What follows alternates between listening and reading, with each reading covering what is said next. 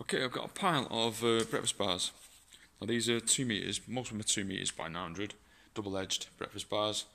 So a lot of people are using them for workbenches, office tables, etc. So we've got plenty of colours. Uh, got a grey colour, that's a grey sparkle.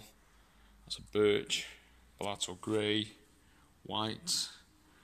What's that one there? Tavola, that's Duropal. Beech block, Duropal, Welsh slate. Uh, that's Sonoma oak, white oak. Uh, that's Arabic, limestone, white, white, white. yeah. You get the gist of it. Loads of different colours there. Loads of different colours. Black on the bottom there. Just loads of colours.